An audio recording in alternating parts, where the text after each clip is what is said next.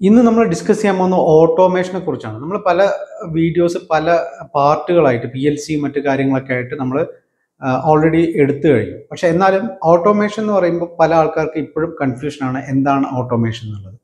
Actually അതൊരു confusion വരാൻ കാരണം എന്താ വെച്ചാൽ ഹോം ഓട്ടോമേഷൻ എന്ന് പറയുന്ന ഒരു കോൺസെപ്റ്റ് ഉണ്ട്. ഇൻഡസ്ട്രിയൽ ഓട്ടോമേഷൻ എന്ന് പറയുന്ന ഒരു കോൺസെപ്റ്റ് ഉണ്ട്. സി ഹോം ഓട്ടോമേഷനകത്ത് നമുക്കറിയാം കർട്ടൺ പൊക്കുന്നതും ഓട്ടോമാറ്റിക് ആയിട്ട് നമ്മളുടെ ഡോറ് അടയുന്നതും അല്ലെങ്കിൽ ഗേറ്റ് അടയുന്നതും ഇങ്ങനെയുള്ളതൊക്കെയാണ് ഹോം ഓട്ടോമേഷനുമായി ബന്ധപ്പെട്ട് വരുന്നത്. സ്വിച്ച് ഓൺ ചെയ്യുക എ സി ഫ്രിഡ്ജ് അങ്ങനെയുള്ള കാര്യങ്ങൾ പക്ഷേ ഇൻഡസ്ട്രിയൽ ഓട്ടോമേഷൻ ഇതിന്റെ ഒരു ത്രീ ടൈംസ് ഹൈലി റിസ്ക് ആണ്. അതുപോലെ ഹൈലി ഒരു റിലയബിലിറ്റിയും അതിന്റെ സേഫ്റ്റിയൊക്കെ വേണ്ട ഒരു മേഖലയാണ് ഇൻഡസ്ട്രിയൽ ഓട്ടോമേഷൻ എന്ന് പറയുന്നത്. അപ്പോൾ industrial ഓട്ടോമേഷനകത്തും concept more or less same ആണ്. ബട്ട് ഇതിന്റെ ഡിഫറെന്റ് ആയിട്ടുള്ള ഒരു കോൺസെപ്റ്റാണ് അപ്പോൾ നമുക്ക് ഇന്ന് ഇൻഡസ്ട്രിയൽ ഓട്ടോമേഷനെ കുറിച്ചാണ് നമ്മളിന്ന് ഡിസ്കസ് ചെയ്യുന്നത്. എന്താണ് ഇൻഡസ്ട്രിയൽ ഓട്ടോമേഷൻ നിങ്ങൾ ഇൻഡസ്ട്രിയൽ ഓട്ടോമേഷൻ നിങ്ങളുടെ മാനുഫാക്ചറിങ് യൂണിറ്റിൽ അപ്ലൈ ചെയ്തില്ലെങ്കിൽ നിങ്ങൾക്ക് വരാൻ പോകുന്ന പ്രോബ്ലംസിനെ കുറിച്ചാണ് ഇന്ന് നമ്മൾ ഡിസ്കസ് ചെയ്യുന്നത്. അപ്പോൾ നമുക്ക് നേരെ വീഡിയോയിലേക്ക് പോകാം വിഷൻ കൺട്രോൾസിന്റെ ലേണിംഗ് ആൻഡ് സൊല്യൂഷൻ പ്രൊവൈഡിംഗ് ചാനലിലേക്ക് എല്ലാവർക്കും സ്വാഗതം.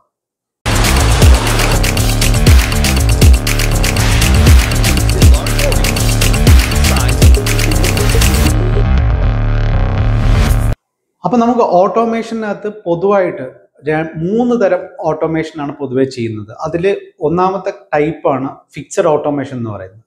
രണ്ടാമത്തെ ടൈപ്പാണ് പ്രോഗ്രാമബിൾ ഓട്ടോമേഷൻ മൂന്നാമതാണ് സോഫ്റ്റ് ഓട്ടോമേഷൻ എന്ന് പറയുന്നത്. ഫിക്സഡ് ഓട്ടോമേഷൻ എന്ന് വെച്ച് കഴിഞ്ഞാൽ നമ്മൾ ഓൾറെഡി കുറച്ച് പ്രോഗ്രാം എല്ലാം ചെയ്ത് അത് ഫിക്സ് ചെയ്ത് വെക്കും. പിന്നെ നമ്മൾ ഒരു കാരണവശാലും അത് ചേഞ്ച് ചെയ്യുന്നില്ല. നമുക്ക് മില്യൺസിന്റെ പ്രൊഡക്ഷൻ എടുക്കാൻ പറ്റും. ലൈക്ക് നമ്മളിപ്പോൾ മിൽമ അല്ലെങ്കിൽ ഐസ്ക്രീം അല്ലെങ്കിൽ മാഗി ഇതൊക്കെ പറയുന്ന പോലെ അവർ ഓൾമോസ്റ്റ് ആ ഒരു പ്ലാന്റ് ഫിക്സഡ് ആണ്. അതിനകത്ത് ആയിരക്കണക്കിന് ലക്ഷക്കണക്കിന് പ്രൊഡക്റ്റ് നമുക്കൊരു ഒരു മെഷീനറിയിൽ അല്ലെങ്കിൽ അത് ഓട്ടോമേറ്റ് ചെയ്ത് നമ്മൾ ഫിക്സ് ചെയ്ത് കഴിഞ്ഞാൽ അത് പിന്നെ റിപ്പീറ്റഡ് ആയിട്ട് അങ്ങ് പ്രൊഡക്ഷൻ എടുക്കുക എന്നുള്ളത് മാത്രമാണ് അതിനകത്ത് വരുന്നത്. അതിനാണ് ഫിക്സഡ് ഓട്ടോമേഷൻ എന്ന് പറയുന്നത്.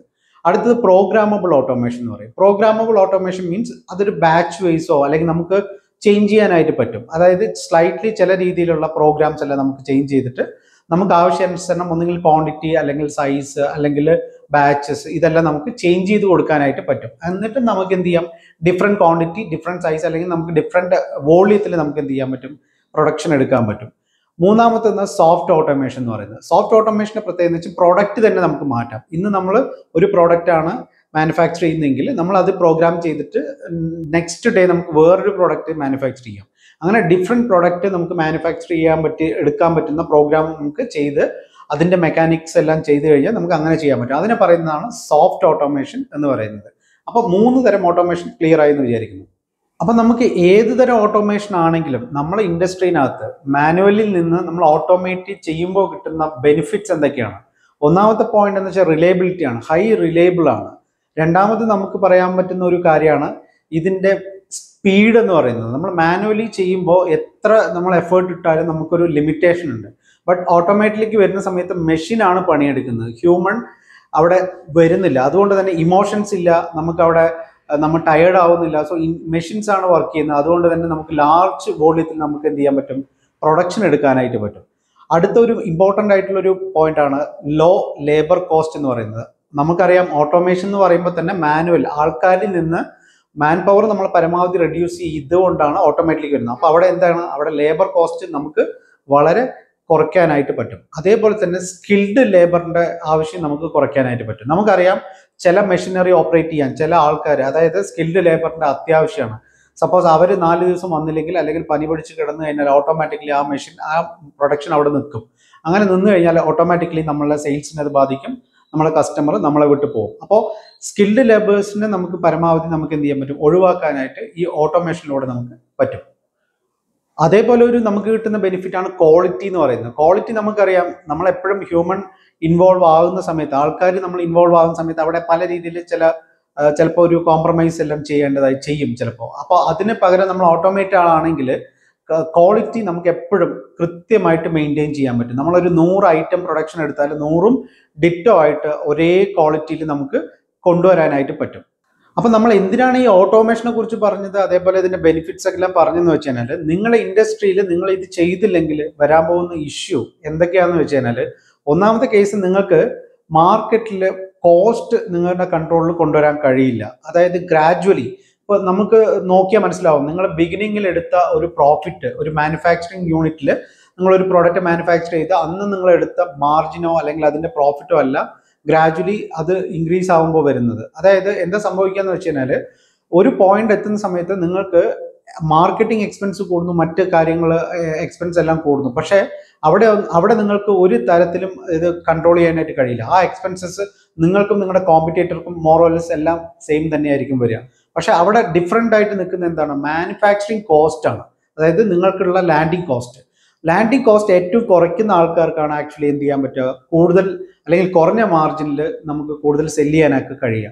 അപ്പോൾ തീർച്ചയായിട്ടും മാനുഫാക്ചറിങ് കോസ്റ്റ് കട്ട് ചെയ്യണമെങ്കിൽ നിങ്ങൾക്ക് തീർച്ചയായിട്ടും ഓട്ടോമേഷൻ കൊണ്ടുവന്നില്ലെങ്കിൽ നിങ്ങൾക്ക് അത് ചെയ്യാനായിട്ട് കഴിയില്ല. കാരണം നിങ്ങൾക്ക് എടുത്ത് നോക്കിയാൽ മനസ്സിലാവും ലാർജ് സ്കെയിലിൽ അല്ലെങ്കിൽ ഫുള്ളി ഓട്ടോമേറ്റഡ് ആയിട്ട് ചെയ്യുന്ന ആൾക്കാർക്ക് മാനുഫാക്ചറിങ് കോസ്റ്റ് വളരെ നെഗ്ലിജിബിൾ ആണ്. ഒരു പ്രോഡക്റ്റ് ഫോർ എക്സാമ്പിൾ ആപ്പിൾ അല്ലെങ്കിൽ നിങ്ങൾ ഏത് പ്രോഡക്റ്റ് എടുത്ത് നോക്കിയോളൂ അത് ലാർജ് സ്കെയിലിൽ ഇപ്പോൾ മാഗി അല്ലെങ്കിൽ എന്ത് പ്രോഡക്റ്റ് ആണെങ്കിലും അത് ലാർജ് വോളിയത്തിൽ നമ്മൾ മാനുഫാക്ചർ ചെയ്ത് വരുന്ന സമയത്ത് ഒരു മണിക്കൂറിൽ ചിലപ്പോൾ ഒരു ലക്ഷം പീസസ് ആയിരിക്കും വരുന്നത്. അപ്പോൾ അതിനകത്ത് വരുന്ന മാനുഫാക്ചറിങ് കോസ്റ്റ് വളരെ നെഗ്ലിജിബിൾ ആണ്. അപ്പോൾ അതുകൊണ്ട് തന്നെ അവർക്ക് സെല്ലിംഗ് കോസ്റ്റ് പിടിക്കാനായിട്ട് പറ്റും. അതുകൊണ്ട് അവർക്ക് കൂടുതൽ വോളിയം കൂടുതൽ കസ്റ്റമറിലേക്ക് ലാർജ് നമ്പേഴ്സ് എത്തിക്കാനായിട്ട് കഴിയും. അപ്പം നിങ്ങൾക്ക് ഓട്ടോമേറ്റ് ചെയ്തില്ലെങ്കിൽ വരാൻ പോകുന്ന ഒരു പ്രോബ്ലം പ്രൈസ് നിങ്ങളുടെ കൺട്രോളിലായിരിക്കില്ല നിങ്ങളെക്കാൾ മുമ്പിൽ നിങ്ങളെക്കാൾ ഫാസ്റ്റിൽ നിങ്ങളെ കോമ്പറ്റേറ്റർ ഓട്ടോമേറ്റ് ചെയ്ത് ഇംപ്ലിമെന്റ് ചെയ്യുകയാണെങ്കിൽ അല്ലെങ്കിൽ ഓട്ടോമേഷൻ പ്ലാന്റിൽ ഇംപ്ലിമെന്റ് ചെയ്യുകയാണെങ്കിൽ അവരായിരിക്കും പ്രൈസിങ്ങിന്റെ കാര്യത്തിൽ മുമ്പിലോട്ട് വരിക.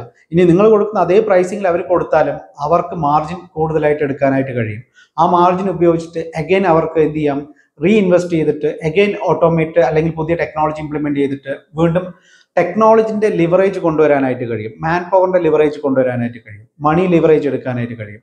ടൈമിന്റെ ലിവറേജ് എടുക്കാനായിട്ട് കഴിയും. അപ്പൊ ഇത്രയാണ് ഇതാണ് ഇതിന്റെ ഏറ്റവും വലിയ ഒരു ഒരു പോയിന്റ് ആയിട്ട് നമുക്ക് പറയാനുള്ളത്. അടുത്തൊരു പോയിന്റ് നമുക്ക് ഇത് ചെയ്തില്ലെങ്കിൽ നിങ്ങൾക്ക് വരുന്ന ഒരു ഇഷ്യൂ ആണ് നിങ്ങൾ മാർക്കറ്റിൽ നിന്ന് ഔട്ടാകും എന്നുള്ളതാണ്. അതായത് ഔട്ട്ഡേറ്റഡ് ആയി പോകും. പലപ്പോഴും എന്താ സംഭവിക്കുക? ട്രഡീഷണൽ ആയിട്ട് നമ്മൾ ചെയ്തു വരുന്ന അല്ലെങ്കിൽ അഞ്ച് വർഷം പത്ത് വർഷം മുമ്പ് നമ്മളൊരു മെഷീൻ അഡാപ്റ്റ് ചെയ്തു അല്ലെങ്കിൽ നമ്മൾ നമ്മളുടെ പാരൻസോ അല്ലെങ്കിൽ നിങ്ങളുമായിട്ട് ബന്ധപ്പെട്ടുള്ള ആൾക്കാർ അത് ഹാൻഡ് ഓവർ ചെയ്തു. പക്ഷെ അതിനുശേഷം ടെക്നോളജി മാറി അതിന്റെ സ്പീഡ് മാറി മാർക്കറ്റ് മാറി കസ്റ്റമേഴ്സിന്റെ സ്റ്റൈൽ മാറി. അപ്പോൾ നമ്മൾ എന്താ വെച്ചാൽ കസ്റ്റമേഴ്സിന്റെ ട്രെൻഡിനനുസരിച്ചിട്ട് നമുക്ക് എന്ത് ചെയ്യും? അതിന് മാറ്റങ്ങൾ ട്രെൻഡിനനുസരിച്ച് മൂവ് ചെയ്യാനായിട്ട് കഴിയണം. അല്ലെങ്കിൽ നിങ്ങൾ എന്ത് ചെയ്യും? ഔട്ട്ഡേറ്റഡ് ആയി പോകും. ഈ ഔട്ട്ഡേറ്റഡ് ആയി പോയത് തന്നെയാണ് പല കമ്പനികളും നമ്മളിപ്പോൾ എക്സാമ്പിൾ ആയിട്ട് പറയുന്ന ഇപ്പോൾ നോക്കിയ ആയാലും അംബാസഡർ ആയാലും അങ്ങനെയുള്ള ഒരുപാട് കമ്പനികൾ അവർക്ക് മാർക്കറ്റ് ക്യാപിറ്റൽ ധാരാളം ഉണ്ടായിരുന്നു. മാർക്കറ്റ് ഷെയറിൽ നമ്പർ വൺ ആയിരുന്നു. പക്ഷേ എന്ത് ചെയ്തില്ല? അവർ അപ്ഡേറ്റഡ് ആയില്ല. ആ അപ്ഡേറ്റഡ് ആവാത്തത് കൊണ്ട് മാത്രമാണ് അവർ മാർക്കറ്റിൽ ഔട്ട്ഡേറ്റഡ് ആയത്. അപ്പം നിങ്ങളും ഇന്നല്ലെങ്കിൽ നാളെ ഉറപ്പായും മാർക്കറ്റിൽ നിന്ന് ഔട്ടാവും എന്നുള്ളതിൽ യാതൊരു തർക്കവുമില്ല. If you are not implemented the technology in your plant അടുത്ത ഒരു പ്രോബ്ലം ഫേസ് ചെയ്യാൻ പോകുന്നത് ഇപ്പൊ സാധാരണ ഒരു small or medium scale industries ചെയ്യുന്ന എന്താ? അവർക്കറിയുന്ന ഒരു നോളജ് വെച്ചിട്ടാണ് എന്ത് പ്രൊഡക്ഷൻ പ്ലാൻ ചെയ്യുന്നത് ഫ്യൂച്ചർ പ്ലാൻ ചെയ്യുന്നത്. അല്ലെങ്കിൽ അവർക്കുള്ള മെഷീനറി ആണെങ്കിലും ഇന്ന് രാവിലെ നിങ്ങളെ പ്രൊഡക്ഷനിലുള്ള എഞ്ചിനീയറോ അല്ലെങ്കിൽ ഇലക്ട്രീഷ്യനോ എന്ന് പറയുന്നു മെഷീൻ കംപ്ലൈന്റ് ആയി വർക്ക് ചെയ്യുന്നില്ല എന്നുള്ളത്. ഇത് നിങ്ങൾ ആ സമയത്ത് മാത്രമാണ് അറിയുന്നത്. പക്ഷേ അങ്ങനെയല്ല. നമ്മൾ ഓട്ടോമേഷൻ ഇംപ്ലിമെന്റ് ചെയ്യുമ്പോൾ അതിനകത്ത് ഇൻഡസ്ട്രിയൽ ഇന്റർനെറ്റ് ഓഫ് തിങ്സ് എന്ന് പറയുന്ന ഒരു കോൺസെപ്റ്റ് നമ്മൾ ഇൻഡസ്ട്രിയും ഇന്റർനെറ്റും തമ്മിൽ ലിങ്ക് ചെയ്ത് അതിന്റെ ഒരു futuristic internet of industrial internet of തിങ്സിനെ കുറിച്ച് ഓൾറെഡി നമ്മളൊരു വീഡിയോ എടുത്തിട്ടുണ്ട്. സി ഇത് ചെയ്യുമ്പോഴുള്ള ഗുണം എന്താണെന്ന് വെച്ചാൽ നിങ്ങളുടെ മെഷീനറിയിൽ എന്താണ് പ്രോബ്ലം നടക്കുന്നത് എന്നുള്ളത് നിങ്ങൾ മനസ്സിലാക്കുന്നതിന് മുമ്പേ മെഷീൻ മനസ്സിലാക്കും നിങ്ങളുടെ ഡാഷ്ബോർഡിൽ നിങ്ങളുടെ കമ്പ്യൂട്ടറിനകത്ത് അത് കാണിച്ചു തരും. ഇന്ന ഇന്ന പ്രോബ്ലംസ് ഇത്ര സമയങ്ങളിൽ കാണിച്ചിട്ടുണ്ട്. അത് പ്രിവെന്റീവ് മെയിന്റനൻസിന് സമയമായി ഉടനെ തന്നെ നിങ്ങളത് ചെയ്യുക എന്നുള്ള ഒരു ഇൻഡിമേഷൻ ആര് തരും? നിങ്ങളുടെ കമ്പ്യൂട്ടർ തരും. അപ്പോൾ അത് തരുന്നത് കൊണ്ട് നിങ്ങൾക്ക് കിട്ടുന്ന ബെനിഫിറ്റ് എന്താണ്?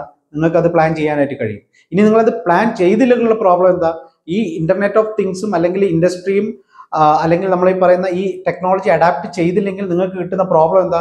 അൺഎക്സ്പെക്റ്റഡ് ആയിട്ട് ഇന്ന് നിങ്ങൾക്ക് ലാർജ് വോള്യം ഒരു സെയിൽ നടക്കുന്നുണ്ട്. അല്ലെങ്കിൽ നിങ്ങൾക്കൊരു ഓർഡർ വന്നിട്ടുണ്ട്. അത് എക്സിക്യൂഷൻ ചെയ്യുമ്പോഴായിരിക്കും എന്ത് വരുന്നത്? ഈ മെഷീൻ പണി മുടക്കുന്നത്. അല്ലെങ്കിൽ നിങ്ങൾക്ക് ഒരു പ്ലാനിങ്ങിൽ അതായത് ഒരു ഡാറ്റയുടെ ഇൻ അവൈലബിലിറ്റി മൂലം നിങ്ങൾക്ക് അവിടെ കിട്ടുന്ന ഒരു ഇഷ്യൂ വരുന്നത്. അപ്പോൾ ആ ഡാറ്റ നമ്മൾ കംപ്ലീറ്റ് ആയിട്ട് ഒബ്സർവ് ചെയ്ത് അനലൈസ് ചെയ്ത് നിങ്ങൾക്ക് തന്നെ സോഫ്റ്റ്വെയർ തന്നെ അല്ലെങ്കിൽ കമ്പ്യൂട്ടറിനകത്ത് തന്നെ നമുക്കൊരു ഇന്റിമേഷൻ തരികയാണ്. അടുത്ത ഒരു പത്ത് ദിവസം നിങ്ങൾക്ക് ഇന്ന ഐറ്റംസ് ആണ് പ്രൊഡക്ഷൻ കൂടുതലായിട്ട് എടുക്കേണ്ടത്. അല്ലെങ്കിൽ നിങ്ങളുടെ മെഷീനറിയിൽ ഈ പ്രോബ്ലം ഫേസ് ചെയ്യാൻ പോകുന്നുണ്ട് എന്ന് മുൻകൂട്ടിയായിട്ട് മുൻകൂട്ടി അറിഞ്ഞാൽ നിങ്ങൾക്ക് ബെനിഫിറ്റ് ആയിട്ടല്ലേ വരിക. അപ്പോൾ ഇത് അറിഞ്ഞില്ലെങ്കിൽ എന്താ സംഭവിക്കുക? നിങ്ങൾക്ക് ലാർജ് ആയിട്ടുള്ള നഷ്ടം വരും ഫ്രസ്ട്രേഷൻ വരും. അങ്ങനെ ഓട്ടോമാറ്റിക്കലി നമുക്ക് എന്ത് ചെയ്യാൻ പറ്റും? ആ മാനുഫാക്ചറിങ് യൂണിറ്റ് തന്നെ സംടൈംസ് എന്ത് ചെയ്യും? ക്ലോസ് ഡൗൺ ചെയ്യേണ്ടതായിട്ട് വരും. അടുത്തത് നിങ്ങൾ ഫേസ് ചെയ്യാൻ പോകുന്ന ഒരു മേജർ ഇഷ്യൂ ആണ് സ്പീഡ് ഓഫ് ഗ്രോത്ത് എന്ന് പറയുന്നത്. നമ്മൾ എന്തിനാണ് ഒരു ബിസിനസ് തുടങ്ങുന്നത്? അല്ലെങ്കിൽ ഒരു ഇൻഡസ്ട്രി നടത്തുന്നത്? ഒരു മാനുഫാക്ചറിങ് യൂണിറ്റ് എന്തിനാണ് ചെയ്യുന്നത്? ഗ്രോത്തിന് വേണ്ടിയിട്ടാണ് അല്ലേ? അപ്പോൾ ഗ്രോത്ത് എന്ന് പറയുന്നത് നിങ്ങൾ ഒരു അഞ്ച് വർഷമായിട്ട് സ്ഥിരമായിട്ട് ഒരേ മെഷീനറി ഒരേ പ്ലാന്റ് ഒരേ പ്രൊഡക്ഷനാണ് കപ്പാസിറ്റി നിങ്ങൾ എടുക്കുന്നുണ്ടെങ്കിൽ എന്താണ് അവിടെ ഗ്രോത്ത് ഉള്ളത്? സി അതുകൊണ്ടാണ് പറയുന്നത് ഓട്ടോമേറ്റ് ചെയ്തില്ലെങ്കിൽ നിങ്ങൾക്ക് ഒരു കാരണവശാലും ഗ്രോത്ത് ഉണ്ടാവില്ല. നിങ്ങൾ മാൻ പവർ വെച്ച് ഇൻക്രീസ് ചെയ്യാൻ നോക്കിക്കഴിഞ്ഞാൽ നമുക്കറിയാം നമുക്ക് ഇപ്പോൾ മാർക്കറ്റിൽ നടക്കുന്ന അല്ലെങ്കിൽ നമ്മളെ ഒരു സമൂഹത്തിൽ നടക്കുന്ന എന്താ മാൻ പവർ കൂടുന്നിടത്തെല്ലാം അവിടെ ലേബർ ഇഷ്യൂസ് അല്ലെങ്കിൽ ഒരുപാട് പ്രോബ്ലംസ് കോൺഫ്ലിക്റ്റുകളെല്ലാം വന്നുകൊണ്ടിരിക്കുകയാണ്. മാൻ പവർ ഹാൻഡിൽ ചെയ്യുക എന്നുള്ളതാണ് ഇപ്പോൾ നടക്കുന്ന ഏറ്റവും വലിയ ചലഞ്ച് എന്ന് പറയുന്നത്. ഒരു ഒരു ബിസിനസ് മാൻ അല്ലെങ്കിൽ ഒരു ഓണറെ സംബന്ധിച്ചിടത്തോളം ഒരു എന്റർപ്രണറെ സംബന്ധിച്ചിടത്തോളം ഏറ്റവും ചലഞ്ചിങ് ആയിട്ടുള്ള ഒരു മേഖലയാണ് ഈ മാൻ പവർ ഹാൻഡ്ലിംഗ് എന്ന് പറയുന്നത്. എച്ച് ആറും എല്ലാം ഉണ്ടെങ്കിൽ തന്നെ നമുക്ക് ഏറ്റവും ചലഞ്ചിങ് ആയിട്ട് വരുന്ന ഒരു ഏരിയ ഇതാണ്. അത് നമ്മൾ എത്ര തന്നെ നമ്മൾ പ്ലാൻ ചെയ്താലും വരുന്ന ഒരു ഇഷ്യൂ ഇതാണ്. അപ്പോൾ അതുകൊണ്ട് തന്നെ കോർപ്പറേറ്റുകൾ പ്ലാൻ ചെയ്യുന്നത് കഴിയുന്നത് മാൻ പവർ കട്ട് ചെയ്തുകൊണ്ട് എങ്ങനെ ഓട്ടോമാറ്റിക്കലി ചെയ്തുകൊണ്ട് നമുക്ക് ഈ മാനുഫാക്ചറിങ് നടത്താം എന്നുള്ളതാണ് മെജോറിറ്റി റിസർച്ച് നടക്കുന്നത്. അതുകൊണ്ട് തന്നെ ഏറ്റവും ഇമ്പോർട്ടന്റ് ആയിട്ട് നിങ്ങളുടെ സ്പീഡ് നിങ്ങളെ ബാധിക്കുന്നുള്ളതാണ്. നിങ്ങൾ സ്വയം വിചാരിക്കുകയാണ് എനിക്കിനി അടുത്ത അഞ്ച് വർഷം എനിക്ക് ഇവിടെ ഇരുന്നാൽ മതി എന്നാണെങ്കിൽ നിങ്ങൾ ഇപ്പോൾ ചെയ്യുന്ന അതേ പ്രവൃത്തി ചെയ്ത് മുന്നോട്ട് പോകാം അല്ലെങ്കിൽ നിങ്ങൾക്ക് ഇത് ഡെവലപ്പ് ചെയ്യണം നിങ്ങൾക്ക് നെക്സ്റ്റ് ലെവലിലേക്ക് പോകണം എന്നാണ് നിങ്ങളുടെ ആഗ്രഹമെങ്കിൽ തീർച്ചയായിട്ടും അവിടെ ഏത് രീതിയിലുള്ള മാർക്കറ്റിൽ ഇപ്പോൾ ഏറ്റവും അപ്ഡേറ്റഡ് ആയിട്ടുള്ള ടെക്നോളജി എന്താണോ അത് അഡാപ്റ്റ് ചെയ്ത് നിങ്ങളുടെ പ്ലാനിൽ ഇംപ്ലിമെന്റ് ചെയ്യുക. അല്ലെങ്കിൽ ഉറപ്പായും നിങ്ങൾ മാർക്കറ്റിൽ നിന്ന് കാണാതെ പോകുന്നുള്ളതിൽ ഒരു തർക്കമില്ല അടുത്തൊരു പ്രോബ്ലം ഇൻഡസ്ട്രിയിൽ ഫേസ് ചെയ്തുകൊണ്ടിരിക്കുന്നത് എന്താണെന്ന് വെച്ച് കഴിഞ്ഞാൽ ഇപ്പൊ നമുക്കറിയാം ഒരു മാനുഫാക്ചർ ഒരു എന്റർപ്രണറിന്റെ അദ്ദേഹം ഒരു മാനുഫാക്ചറിങ് യൂണിറ്റ് നടത്തുന്നു. അതിന്റെ താഴെ പ്രൊഡക്ഷൻ എഞ്ചിനീയർ ഇലക്ട്രിക്കൽ എഞ്ചിനീയർ അല്ലെങ്കിൽ H R manager sales manager എല്ലാം ഉണ്ട്. പക്ഷേ ഇവിടെ ഒരു പ്രോബ്ലം നിങ്ങൾക്ക് ബാക്കി ഈ പ്രൊഡക്ഷനിലുള്ള ഡാറ്റ ഒഴികെ ബാക്കി എല്ലാ ഡാറ്റയും എന്താണ് അവൈലബിൾ ആണ്. നമുക്കറിയാം ഇ ആർ പി സോഫ്റ്റ്വെയർ ഉപയോഗിച്ചുകൊണ്ട് നമുക്ക് പല കമ്പനിയും ഓട്ടോമേറ്റ് ചെയ്യുന്നുണ്ട്. അത് മാനേജ്മെന്റ് സൈഡിലുള്ള ഓട്ടോമേഷൻ ആണ്. നമുക്ക് കംപ്ലീറ്റ് കാര്യങ്ങൾ എവിടെ ഇരുന്നുകൊണ്ടും സെയിൽസും പർച്ചേസും അക്കൗണ്ട്സും പ്രോഫിറ്റും കാര്യങ്ങളെല്ലാം നമുക്ക് വാച്ച് ചെയ്യാനായിട്ട് കഴിയും. ഇതേ കോൺസെപ്റ്റ് മാനുഫാക്ചറിങ്ങിന്റെ യൂണിറ്റിനകത്ത് നിങ്ങൾക്ക് കൊണ്ടുവരാനായിട്ട് കഴിയും. അത് കഴിഞ്ഞില്ലെങ്കിലുള്ള പ്രോബ്ലം എന്താ? നിങ്ങൾക്ക് അറിയില്ല ഇന്ന് അവിടെ എന്താ നടക്കുന്നത് പല കേസിലും സംഭവിക്കുന്നത്. നെഗറ്റീവായിട്ട് പറയുന്നതല്ല ബട്ട് സംടൈംസ് എന്താ സംഭവിക്കുന്നത്? ഈ ഓപ്പറേറ്റർ സപ്പോസ് കറക്റ്റായിട്ട് പ്രൊഡക്ഷൻ എടുക്കാത്തതായിരിക്കാം. അല്ലെങ്കിൽ ചിലപ്പോൾ അൺഎക്സ്പെക്റ്റഡ് ആയിട്ട് ഈ പവർ കട്ട് വന്നിട്ട് ചിലപ്പോൾ പ്രൊഡക്ഷൻ നടക്കാത്തതായിരിക്കും. പല കാരണങ്ങളായിരിക്കും അതിന്റെ പുറകെ. നമ്മൾ ഉദ്ദേശിക്കുന്ന രീതിയിൽ പ്രൊഡക്ഷൻ നടന്നില്ലെങ്കിൽ അവിടെ എന്താണ് കാരണം എന്നുള്ളത് നമ്മൾ ആദ്യം ഒബ്സർവ് ചെയ്യണം. അത് അവിടെയുള്ള ഓപ്പറേറ്ററിന്റെ അല്ലെങ്കിൽ പ്ലാന്റ് ഇൻചാർജിന്റെ പ്രോബ്ലം ആണോ? അതോ എന്താണ് അവിടെ ഇഷ്യൂ അപ്പോൾ അവർ പറയുന്നു അൺഎക്സ്പെക്റ്റഡ് ആയിട്ട് ആ മെഷീൻ ഫെയിലിയർ ആയി സാർ അപ്പോൾ ആ മെഷീൻ എന്തുകൊണ്ട് ഫെയിലിയർ ആയി? അപ്പോൾ അത് മെയിന്റനൻസ് നടത്തിയില്ല സാർ അപ്പോൾ അത് മെയിന്റനൻസ് എന്തുകൊണ്ട് നടത്തിയില്ല. അപ്പോൾ അത് എത്ര തവണ ട്രിപ്പായി അല്ലെങ്കിൽ എത്ര തവണ അത് പ്രോബ്ലം കാണിച്ചിട്ടുണ്ട് അത് നമ്മൾ ചിലപ്പോൾ നോട്ട് ചെയ്തിട്ടുണ്ടാവും അല്ലെങ്കിൽ നോട്ട് ചെയ്യാൻ മറന്നുപോയതായിരിക്കും അല്ലെങ്കിൽ നമ്മൾ അത് സീരിയസ് ആയിട്ട് എടുത്തിട്ടുണ്ടാവില്ല. അവിടെ നമുക്ക് കൃത്യമായിട്ട് ഒരു റിമോട്ട് സിസ്റ്റം അല്ലെങ്കിൽ റിമോട്ട് മോണിറ്ററിംഗ് സംവിധാനം ഉണ്ടെങ്കിൽ അവിടെ തന്നെ നമുക്ക് ഈ അലാറം കാണിക്കാനും കഴിഞ്ഞിട്ടുണ്ടെങ്കിൽ നമുക്ക് ഒരു രണ്ടോ മൂന്നോ അലാറത്തിന് ശേഷം നമുക്കൊരു വാർണിംഗ് മെസ്സേജ് അതിന്റെ കൺസേൺ പേഴ്സൺ അയച്ചു കൊടുത്തിട്ടുണ്ടായിരുന്നെങ്കിൽ നമുക്ക് കൃത്യമായിട്ട് അവിടെ ഒരു പ്രിവെന്റീവ് മെയിന്റനൻസ് നടന്നിട്ടുണ്ടായിരിക്കും. നടന്നിട്ടുണ്ടെങ്കിൽ തന്നെ പ്രൊഡക്ഷൻ ഒരു കാരണവശാലും നിർത്തിയിടേണ്ട വന്നിട്ടും ഉണ്ടാവില്ല. അപ്പോൾ ഇതാണ് നമ്മൾക്ക് റിമോട്ടായിട്ട് മോണിറ്റർ ചെയ്യാൻ കിട്ടുന്ന ഒരു ബെനിഫിറ്റ് എന്ന് പറയുന്നത് അപ്പോൾ ഇത് നടത്തിയില്ലെങ്കിൽ നിങ്ങൾ ഈ റിമോട്ട് ഓപ്ഷൻ അല്ലെങ്കിൽ നിങ്ങൾക്ക് എവിടെ ഇരുന്നുകൊണ്ടും വാച്ച് ചെയ്യാൻ ഈ പ്ലാന്റിനെ കഴിഞ്ഞില്ലെങ്കിൽ ഈ പറയുന്ന രീതിയിൽ പല പ്രോബ്ലംസ് നിങ്ങൾക്ക് ഫേസ് ചെയ്യേണ്ടതായിട്ട് വരും. നമ്മൾ പഴയ കാലഘട്ടത്തിലാണ് ആൾക്കാരെ വിശ്വസിച്ചുകൊണ്ട് അല്ലെങ്കിൽ മാൻ പവറെ നമ്മൾ വിശ്വസിച്ചുകൊണ്ട് ആ ഡാറ്റ നമ്മൾ അതുപോലെ അങ്ങ് എടുക്കുന്നത്. പക്ഷെ ഇന്നത്തെ കാലഘട്ടത്തിൽ നമുക്കത് പോസിബിൾ അല്ല. നമുക്ക് അങ്ങനെയുള്ള ആൾക്കാർ ഉണ്ടാവുമായിരിക്കും. പലപ്പോഴും പല സമയങ്ങളിലും നമുക്കത് വിശ്വസിച്ചുകൊണ്ട് മുമ്പോട്ട് പോകാനായിട്ട് കഴിയില്ല. ചിലപ്പോൾ ഇവരുടെ സ്കില്ലിന്റെ കുറവ് കൊണ്ടും ഈ പ്രോബ്ലം സംഭവിക്കാം. അപ്പൊ അവരുടെ സ്കില്ലിനെ ഡിപ്പെൻഡ് ചെയ്തുകൊണ്ട് നമുക്ക് ഒരു പ്ലാന്റ് മുന്നോട്ട് പോകാനായിട്ട് കഴിയില്ല. അപ്പൊ അവരില്ലെങ്കിൽ നമുക്ക് എന്ത് ചെയ്യണം? അവരുടെ സ്കില്ല് ഇല്ലെങ്കിലും തന്നെ നമുക്ക് എന്ത് ചെയ്യാൻ പറ്റണം? ഈ പ്രൊഡക്ഷൻ വളരെ പെർഫെക്റ്റ് ആയിട്ട് ഇന്നലത്തെക്കാൾ ഭംഗിയായിട്ട് നടക്കണമെങ്കിൽ ഇതെല്ലാം നമ്മുടെ കൺട്രോളിൽ വരണം. മാനേജ്മെന്റ് ഇ ആർ പി ഉപയോഗിച്ച് നമ്മൾ എങ്ങനെയാണോ കൺട്രോൾ ചെയ്ത് നമ്മുടെ കൺട്രോൾ നമുക്ക് നമ്മുടെ ഒരു ഇതിലേക്ക് വരുന്ന അതേപോലെ തന്നെയാണ് ഈ പറയുന്ന മെഷീനറിനെയും നമ്മുടെ കൺട്രോളിലേക്ക് കൊണ്ടുവരാനായിട്ട് കഴിയും. അതുപോലെ നമ്മൾ കൃത്യമായിട്ട് ഓരോ കാലഘട്ടങ്ങളിൽ പഴയ എക്യുപ്മെന്റ്സ് അല്ലെങ്കിൽ അതിനകത്തുള്ള മെഷീനറിനെ മാറ്റി അതിനെ അപ്ഡേറ്റ് ചെയ്ത് മാർക്കറ്റിൽ ഇപ്പോൾ എന്താണോ ടെക്നോളജി വന്നത് അതിലേക്ക് നമ്മൾ ഇംപ്ലിമെന്റ് ചെയ്ത് വന്നില്ലെങ്കിൽ ഉറപ്പായും സ്പീഡും പ്രൊഡക്ടിവിറ്റിയും എല്ലാത്തിനും നമ്മളെ ബാധിക്കും. നമുക്ക് പഴയ ആ ഒരു ഫിലോസഫിയും കൊണ്ട് നമുക്ക് ഒരു കാരണവശാലും നിങ്ങളെ മാനുഫാക്ചറിങ് യൂണിറ്റ് നടത്തിക്കൊണ്ട് പോകാനായിട്ട് ഇനി കഴിയില്ല. അപ്പോൾ എല്ലാവർക്കും മാനുഫാക്ചറിങ് യൂണിറ്റ് നടത്തുന്ന എന്റർപ്രണേഴ്സ് ആയിട്ടുള്ള ആൾക്കാർ ബിസിനസ് ഓണർ ആയിട്ടുള്ള ആൾക്കാർ അല്ലെങ്കിൽ പ്രൊഡക്ഷൻ മാനേജേഴ്സ് അല്ലെങ്കിൽ കൺസേൺ പേഴ്സൺ സീറ്റിലിരിക്കുന്ന ആൾക്കാർ എല്ലാവരും നല്ല രീതിയിൽ ഓട്ടോമേറ്റ് ചെയ്ത് നിങ്ങളുടെ പ്ലാന്റ് മുമ്പോട്ട് പോകട്ടെ. ഇനിയും ദീർഘകാലം വളരെ നന്നായിട്ട് ലാർജ് സ്കെയിലിൽ പ്രൊഡക്ഷൻ എടുത്ത് വലിയൊരു കമ്പനിയായി വളരട്ടെ എന്ന് ആശംസിച്ചുകൊണ്ട് നിർത്തുന്നു. മറ്റൊരു വീഡിയോയിൽ വീണ്ടും കാണാം. താങ്ക്